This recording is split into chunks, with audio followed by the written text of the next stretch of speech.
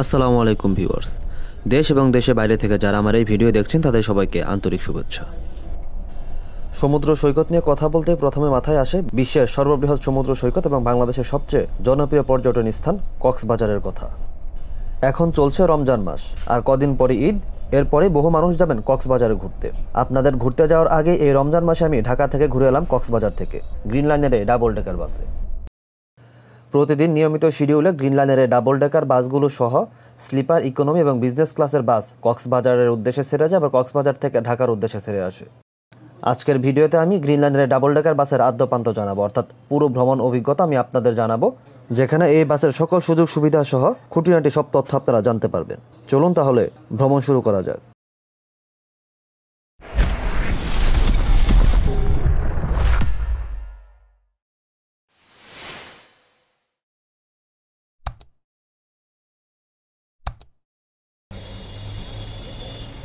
Green line পরিবহন। বাংলাদেশের বড় পরিবহন কোম্পানিগুলোর মধ্যে অন্যতম এবং তাদের ফ্লিটে যুক্ত আছে দেশের সবচেয়ে লাক্সারিয়াস বাসগুলো। তার মধ্যে অন্যতম জার্মানির ম্যান ব্র্যান্ডের ডাবল ডেকার বাসগুলো। এই বাসগুলো বাংলাদেশের মধ্যে সবচেয়ে দামি এবং বিলাসবহুল। এই বাসগুলোর বডি করা হয়েছে মালয়েশিয়ান বডি বিল্ডার্স প্রতিষ্ঠান ইন্টারকোচ থেকে। এরপর শিপের মাধ্যমে বাসগুলো বাংলাদেশে নিয়ে আসা হয়েছে। সর্বপ্রথম দু হাজার সতেরো সালে ডাবল ডেকার বাস এনে রীতিমতো চমক ফেলে দিয়েছিল গ্রিনল্যান্ড পরিবহন।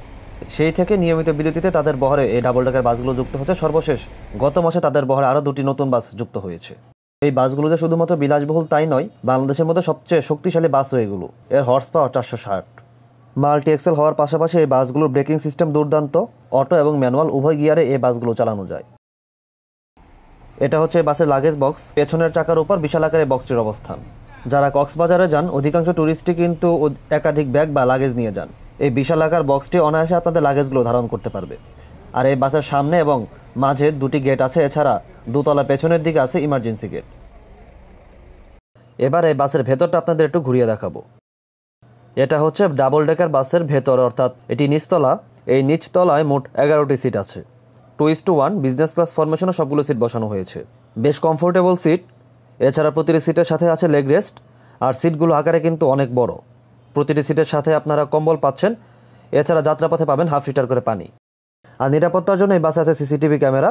এছাড়া বিনোদনের জন্য এই বাসের নিচতলায় আছে দুটি এলইডি টিভি। এবার আমি আপনাদের দোতলা নিয়ে যাচ্ছি। এটা হচ্ছে দোতলার সিঁড়ি, যেদিক দিয়ে আমি উঠছি। এই সিঁড়িটি একদম বাসের সামনের গেটের সাথে। গেট দিয়ে ঢুকে আপনার এই সিঁড়ি দিয়ে দোতলা উঠে যেতে পারবেন। এটা হচ্ছে ডাবল ডেকার বাসের দোতলার অবস্থা। এই দ্বিতীয় তলায় মোট সিট আছে চৌত্রিশটি। নিচতলার মতো দোতলাতেও বিজনেস ক্লাস ফরমেশনে সবগুলো সিট বসানো হয়েছে টু ইস টু ওয়ান নিচতলায় যে সিট আপনাদের দেখিয়েছি, দোতলায় ঠিক একই রকম সিট বেশ কমফোর্টেবল সিট এগুলো। আপনারা দেখতে পাচ্ছেন কতটা নরম। যাত্রাপথে আপনারা বেশ ভালোভাবে সিটে বসে ভ্রমণ করতে পারবেন। আর সাইজেও কিন্তু তুলনামূলক বেশ বড়। আর যে লেগ রেস্ট দেখতে পাচ্ছেন, এগুলো কিন্তু বেশ বড়। দেখতে পাচ্ছেন অনেকটা নিচ পর্যন্ত প্রায় ঠেকে গেছে। এবার আমি দেখিয়ে দেবো এই লেগ রেস্ট উঠানোর পর আর সিটগুলো যদি পেছনে আপনারা ফোল্ডিং করেন, অর্থাৎ পেছনে শুয়ে দিতে চান, সেক্ষেত্রে কতটা সিট ফোল্ডিং করতে পারবেন আপনারা। দেখতেই পাচ্ছেন, অনেকটা শুয়ে যাওয়ার মতো ফিল কিন্তু এই বাসের সিট আপনারা পাবেন। আর এই সিটগুলো লক করা না, অর্থাৎ আনলক ফলে পুরোপুরি শুয়ে দিতে পারবেন। আর বেশ ভালো পরিমাণে লেগ স্পেস আছে, আর প্রতিটি সিটের সাথে আছে ফুটরেস্ট আপনারা এখানে পা রাখতে পারবেন। স্লিপার বাস না হলেও অনেকটা স্লিপারের কাছাকাছি ফিল আপনারা এই সিটে বসে ভ্রমণকালীন সময়ে পাবেন।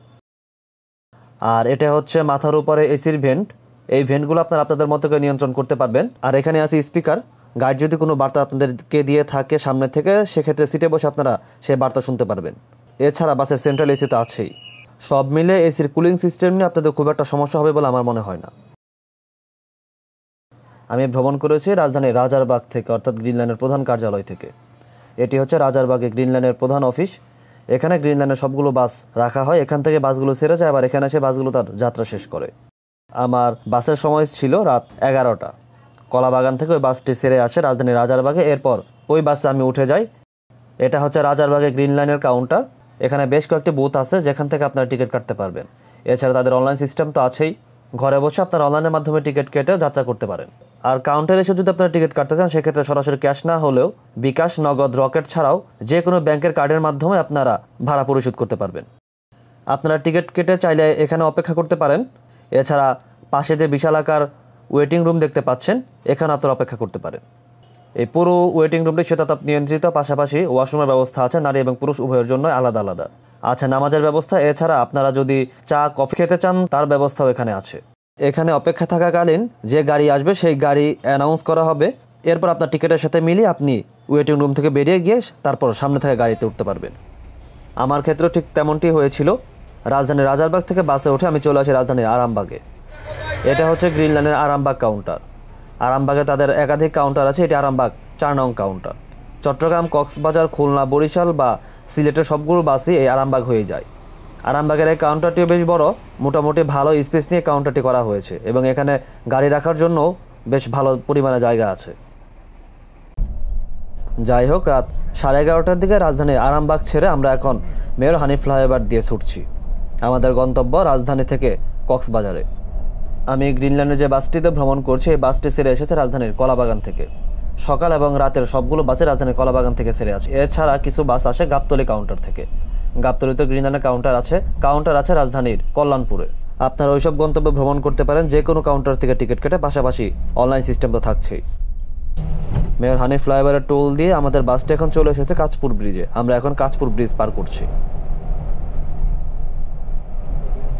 রাত প্রায় বারোটার মতো বাজলেও রাস্তা কিন্তু খুব একটা ফাঁকা না। ট্রাকের বেশ চাপ আছে, এছাড়া বাসেরও চাপ আছে। ওই দিন ঢাকায় বেশ ভালো পরিমাণে জ্যাম ছিল, যার কারণে অধিকাংশ যানবাহনের ঢাকা ক্রস করতে বেশ সময় লেগেছে। না হলে এই সময়ে রাস্তা অনেকটাই ফাঁকা থাকে, এতটা চাপ থাকে না। এখানে আপনাদের একটি বিষয় জানিয়ে রাখি গ্রিনল্যান্ড তাদের বাসগুলোতে যাত্রীদের নিরাপত্তা এবং বাসের নিরাপত্তার জন্য জিপিএস ট্র্যাকিং সিস্টেম লাগিয়েছে। এর মাধ্যমে তারা বাসগুলোর গতি নিয়ন্ত্রণ করতে পারে, পাশাপাশি বাস কোথায় কীভাবে অবস্থান করছে সবগুলো, সবকিছু জানতে পারে। আর এক্ষেত্রে তাদের সহায়তা করেছে গোম্যাক্স ট্র্যাকার আপনারা যদি আপনাদের গাড়ির সব তথ্য মোবাইলের মাধ্যমে ঘরে বসে দেখতে চান, সেক্ষেত্রে গোম্যাক্স ট্র্যাকারের এই নাম্বারে যোগাযোগ করতে পারেন। এছাড়া ঘুরে আসতে পারেন তাদের ওয়েবসাইট থেকে, যেখানে ট্র্যাকিং সম্পর্কিত সব তথ্য আপনারা পাবেন। এর মধ্যে আমরা পার করে ফেলি মেঘনা ব্রিজ। মেঘনা ব্রিজ থেকে নামতে নামতেই হানিফ এবং ইউনিক আমাদের ওটি দিয়ে সামনে চলে যায়। আমি আগেই বলেছি এই বাসটির গতি নিয়ন্ত্রণে রাখা আছে। চাইলেই আপনি অতিরিক্ত গতিতে গাড়ি চালাতে পারবেন না। যার সুযোগ সবগুলো বাসে নিচ্ছে। এটা একদিকে ভালো যে ধীরস্থিরভাবে গন্তব্যে পৌঁছানো যায় অর্থাৎ অনেকটা নিরাপদে গন্তব্যে যাওয়া যায় আবার অন্য দিক থেকে সময় কিন্তু কিছুটা বেশি লাগবে এটা মেনে আপনাকে এই গাড়িতে ভ্রমণ করতে হবে। এক্ষেত্রে কোনো গাড়ি যদি ওভারটেক করে চলে যায়, সেক্ষেত্রে অনেক সময় যাত্রীরা উত্তেজিত হয়ে যান যে পেছনের গাড়ি কীভাবে আগে চলে যায়। মূলত নিরাপত্তার জন্যই কিন্তু ধীরস্থিরভাবে গাড়ি চালানো হয়। আবার যদি কোনো দুর্ঘটনা ঘটে, সেক্ষেত্রে কিন্তু চালকের উপরে সব দায় বর্তায়। সব দিক মিলিয়ে যাত্রীদেরও যেমন শান্ত থাকতে হবে, তেমনি চালকদেরও ঠান্ডা মাথায় গাড়ি চালাতে হবে। আমাদের বাসটা এখন চলছে কুমিল্লা হাইওয়ে ধরে। এই অংশটুকু অনেকটাই ফাঁকা, তবুও কিন্তু আমাদের চালক ধীরস্থিরভাবে গাড়ি চালাচ্ছেন। কোনো পারাপারি বা হুড়ুহুড়ি করছেন না। আপনারা এই অংশে গ্রিনল্যান্ড ডাবল ডেকার বাসের পথ চলা দেখতে থাকুন, পাশাপাশি কেবিন নয়েজটা শুনতে থাকুন, যে ভেতর আসলে কতটা কেবিন নয়েজ আসে। তার আগে আমি বলে রাখি, অধিকাংশ যাত্রী কিন্তু দোতলাতে ভ্রমণ করেন, দোতলাতে কেবিন নয়েজ একদম নেই বললেই চলে, যেটা আমি পরবর্তী অংশে দেখাবো। এটা নিচতলা, তুলনামূলক বেশ কম কেবিন নয়েজ এই বাসে আছে।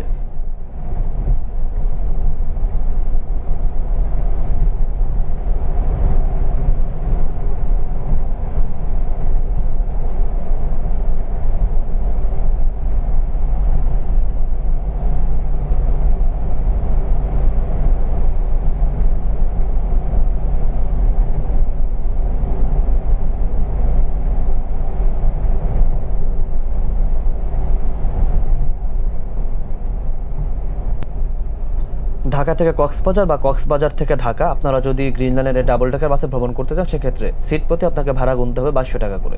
ঢাকা থেকে চট্টগ্রাম পর্যন্ত এই বাসের ভাড়া নেওয়া হচ্ছে ষোলোশো টাকা। আর বিজনেস ক্লাসের বাসে যদি আপনারা ঢাকা কক্সবাজার ভ্রমণ করতে চান, সেক্ষেত্রে আপনাকে ভাড়া গুনতে হবে দুই হাজার টাকা। এছাড়া গ্রিনল্যান্ডের বহরে আছে স্লিপার বাস এবং ইকোনমি ক্লাসের বাস স্লিপার বাসের ভাড়া পঁচিশশো টাকা আর ইকোনমি ক্লাসের ভাড়া পনেরোশো টাকা। ঢাকা থেকে যদি আপনারা কক্সবাজার ভ্রমণ করতে চান গ্রিন লাইনে, সেক্ষেত্রে সবগুলো বাসই তাদের রাতে। Double decker sleeper economy class বা বিজনেস ক্লাস সবগুলো বাসে রাতে সেরে আসে। তবে কক্সবাজার থেকে যদি আপনারা ঢাকায় ফিরতে চান সকালে, সেক্ষেত্রে কিন্তু আপনারা ডাবল ডেকার বাস পাচ্ছেন। কক্সবাজারের সবগুলো হোটেলের চেক আউটে কিন্তু দুপুর বারোটার মধ্যে। ফলে অধিকাংশ ট্যুরিস্টই চেক আউট করে ফেলেন, কিন্তু কোন বাসে যাবেন সেটি বুঝতে পারেন না। অনেকে মনে করেন যে রাত ছাড়া কোনো বাস নেই, কিন্তু এই ধারণাটা আপনাদের ভুল। কক্সবাজার থেকে দিনেও অনেক কোম্পানির বাস আছে, তার মধ্যে গ্রিনল্যান্ডেরও ডাবল ডেকার বাস আছে। সকাল এগারোটায় যে বাসটি কক্সবাজারে কলাতলি মোড়, অর্থাৎ ডলফিন মোড় থেকে সেরে যায়।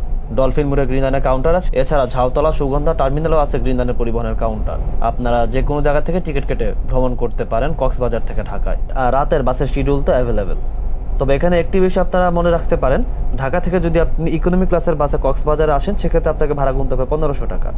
আর আপনি যদি কক্সবাজার থেকে ইকোনমি ক্লাসে ঢাকায় ভ্রমণ করেন, সেক্ষেত্রে কিন্তু আপনি বারোশো টাকায় ভ্রমণ করতে পারতেছেন। অর্থাৎ কক্সবাজার থেকে ঢাকা ভ্রমণের ক্ষেত্রে আপনি তিনশো টাকা ডিসকাউন্ট পাচ্ছেন। বর্তমানে রমজান মাস চলছে, রাত্রিকালীন ভ্রমণের ক্ষেত্রে সেহেরি খুবই গুরুত্বপূর্ণ বিষয়। বর্তমানে যে নাইট কোচগুলো চলাচল করছে, এদের চালক এবং গাইড উভয়কে সবসময় সতর্ক থাকতে হয়, কোথায় সেহেরির সময় হয় বা কোন হোটেলে যাত্রা বিরতি দেওয়া হবে। আমাদের বাসটি যাত্রা বিরতি দেয় কুমিল্লার হোটেল গ্রিন ভিউতে বর্তমানে গ্রিন লাইনের সবগুলো বাসে হোটেল গ্রিন ভিউতে যাত্রা বিরতি দিয়ে থাকছে। আমাদের বাসটা এখন হোটেল গ্রিন ভিউতে প্রবেশ করছে। আমাদের সেহরির সময় শেষ। তিরিশ মিনিট সময় হলেও একটু বেশি সময় লেগে যায় কারণ সেহরি বলে কথা নর্মাল সময় বিশ মিনিট দিয়ে থাকে সেখানেও কিন্তু সময় বেশি লাগে। ফলে সেহরির সময়টাও বেশি লাগা স্বাভাবিক। সব মিলে প্রায় পঁয়ত্রিশ মিনিটে একটু বেশি সময়ের পর আমরা সবাই বাসে উঠে যাই। এরপর আমাদের বাসটি আবার কক্সবাজারের উদ্দেশ্যে ছুটছে। তো আমাদের বাসটি চলছে কুমিল্লা জেলা দিয়ে। এটি বাংলাদেশের সবচেয়ে গুরুত্বপূর্ণ একটি মহাসড়ক কিন্তু এই মহাসড়কে রুট সাইন নেই অর্থাৎ রুট মার্কিং নেই। কোথায় আপনি ওভারটেক করবেন কোথায় করবেন না কোথায়, কত কিলোমিটার গতিতে গাড়ি চালাবেন, তেমন মার্কিং কিন্তু রাস্তা দেখা যাচ্ছে না। যদিও এই রাস্তায় বেশ কিছুদিন আগে পিচ ঢালাই দেওয়া হয়েছে, আমি এর আগের ভিডিও অর্থাৎ সেন্ট মার্টিন যাওয়ার সময় কিন্তু আমি এমনটা দেখিয়েছিলাম, যে রুট সাইনিং নেই, ফলে রাতের বেলা গাড়ি চালাতে কিন্তু বেশ সমস্যা হয়। এর মধ্যে বহু সময় পার হয়ে গেছে, কিন্তু এখনও তার কোনো প্রতিফলন দেখা যায়নি। এই কুমিল্লা অংশের অধিকাংশ রাস্তায় এমন দেখেছি আমি। ফলে এখানে যদি কোনো দুর্ঘটনা ঘটে, সেক্ষেত্রে চালকের দায়ের পাশাপাশি কিন্তু সড়ক ও জনপথ অধিদপ্তর দায় আনতে পারে না। এরপর আমরা ফিনি পার হয়ে চলে আসি চট্টগ্রামের মিরসরাই এখানে ফজরের নামাজের সময় হয়ে যায়, আমাদের বাসটি ফজরের নামাজে বিরতি দেয়। মহাসড়কের পাশেই মসজিদ ছিল, যার কারণে গ্রিনল্যান্ডের আমাদের এই বাসটি সহ আরও বেশ কয়েকটি বাস এখানে দাঁড়ায়। নামাজের বিরতি শেষে আমাদের বাসটি আবার চলতে শুরু করেছে। নামাজের জন্য আমাদের বিরতি ছিল দশ মিনিটের। ফজরের নামাজের পরই আস্তে আস্তে সকাল হচ্ছে, আমাদের বাসটি সেই ধীরস্থির গতিতেই চলছে। বেশ সাবধানে গাড়ি চালাচ্ছেন আমাদের চালক সুমন ভাই, যিনি দীর্ঘদিন ধরে এই গ্রিন লাইনে ডাবল ডেকার চালাচ্ছেন। আর আমাদের এই ধীরস্থির পথ চলার সুযোগ নিয়ে নেয় হানিফ এন্টারপ্রাইজ যে বাসটি নামাজ শেষ করে আমাদেরও প্রায় আট থেকে দশ মিনিট পর সেরেছে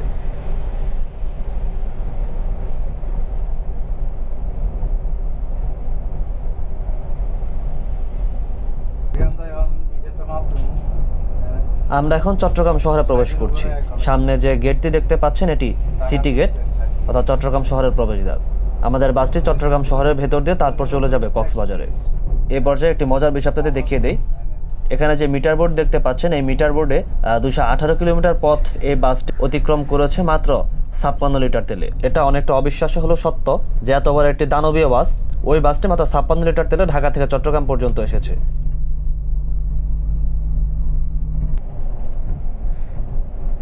চট্টগ্রামের কর্ণফুলী সেতু পার করে আমরা এখন পটিয়া উপজেলাতে আছি। কর্ণফুলী সেতুর পর কিছুটা অংশ চার লেনের সড়ক, এরপর থেকে এমন দুই লেনের সড়ক, অর্থাৎ সিঙ্গেল লেন একদম কক্সবাজার পর্যন্ত এমন সড়ক।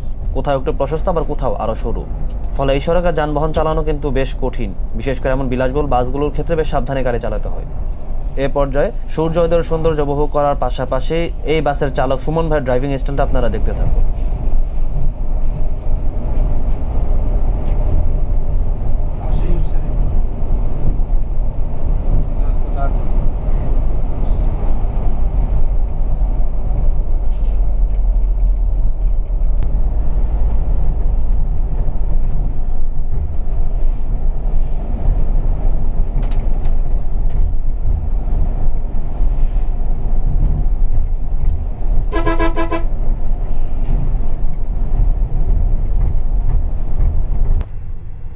আমি ভ্রমণের শুরুর দিকে বলেছিলাম যে দোতলার কেবিন নিউজটা আমি আপনাদের শোনাবো। আমি এখন দোতলার একদম পেছনে বসে আছি, অর্থাৎ যেখানে ইঞ্জিন, সেই ইঞ্জিনের উপরে বসে আছি। এখান থেকে দ্বিতীয় তলার কেবিন নিউজটা আপনারা শুনতে থাকুন।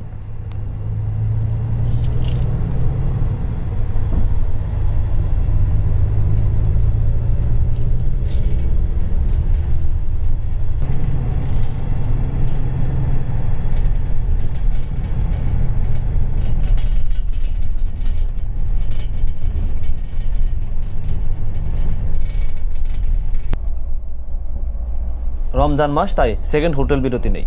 কক্সবাজার অঞ্চলে চলাচলকারী বাসগুলো সাধারণত দুটি হোটেল বিরতি দিয়ে থাকে, একটি কুমিল্লাতে আর একটি চট্টগ্রামের লোহাগাড়ার শেষ প্রান্তে।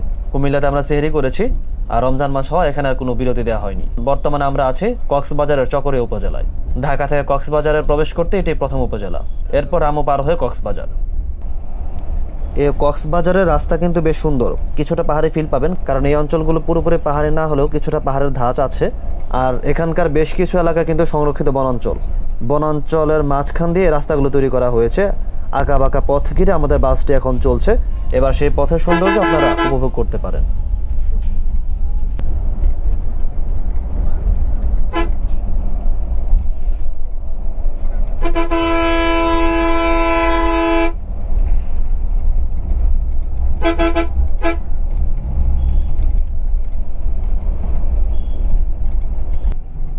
আমরা এখন কক্সবাজারের বেশ কাছে। ঢাকা থেকে কক্সবাজার পর্যন্ত আসতে আমাদের সময় লেগেছে প্রায় দশ ঘণ্টার মতো। রাত সাড়ে এগারোটার দিকে আমাদের বাসটি রাজধানীর আরামবাগ ত্যাগ করে আর কক্সবাজারে আসি আমরা সকাল পৌনে দশটার দিকে। বেশ লম্বা একটি জার্নি বলা যায়, কক্সবাজার আসতে সচরাচর আট ঘণ্টা মতো সময় লাগে।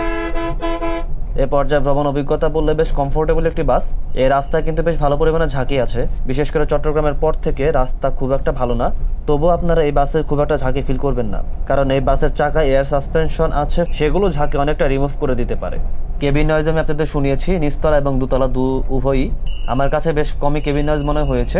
আর এসির কুলিং সিস্টেম বেশ ভালো। প্রতিটি সিটের সাথে আপনারা কম্বল পাবেন যদি বেশি ঠান্ডা লাগে। সেক্ষেত্রে কম্বল গায়ে দিতে পারেন। এছাড়া মাথার উপরে থাকে এসির ভেন্ট তো আপনাদের নিয়ন্ত্রণেই। যেগুলো আমি আগেই দেখিয়েছি যাত্রা শুরুতে, সেগুলো আপনারা বন্ধ করে রাখতে পারেন। বেশ কমফোর্টেবল এবং প্রশস্ত সিট আছে এই বাসে। সিটের ক্ষেত্রে যদি বলেন, সেক্ষেত্রে আমি একদম দশে দশ দিব। চালকের দক্ষতাও বেশ ভালো। এই বাসের যিনি গাইড তিনিও যাত্রীদের ডাকে সার্বক্ষণিক সাড়া দিয়েছেন। আর চালক সুমন ভাই, দীর্ঘ প্রায় পনেরো বছর যাবত তিনি গ্রিনল্যান্ডে গাড়ি চালাচ্ছেন। আপনারা নিচতলা বা দুতলা যে কোনো জায়গায় ভ্রমণ করতে পারেন আপনাদের সুবিধা মতো। আমরা এখন কক্সবাজারে চলে এসেছি। একটু পরই কক্সবাজারের ডলফিন মোড়, সেখানে আমাদের বাসের যাত্রা শেষ হবে। আমাদের বাসটি কক্সবাজারে ঢুকতে ঢুকতে বেশ সময় লেগে গেছে। না হলে সুগন্ধা পয়েন্ট পর্যন্ত এই বাসটি যায়। ঢাকা থেকে সকাল আটটার পর যে বাসগুলো কক্সবাজারে প্রবেশ করে, বাসগুলো এই ডলফিন মোড়ে তার যাত্রা শেষ করে। ফলে অন্যদের মতো আমার যাত্রাও এখানে শেষ হচ্ছে। এখানে এবার যাত্রা শেষে সেই তেলের হিসাবটা আবারও দেখিয়ে দিচ্ছি। আমাদের বাসটি চলেছে তিনশো উনসত্তর কিলোমিটার। আর এতে তেল খরচ হয়েছে মাত্র একশো আট লিটার। এটি দেখে যে কারও চোখ কপাল উঠতেই পারে, এত বড় বাসে কীভাবে এত কম তেলে কক্সবাজার আসা সম্ভব ঢাকা থেকে?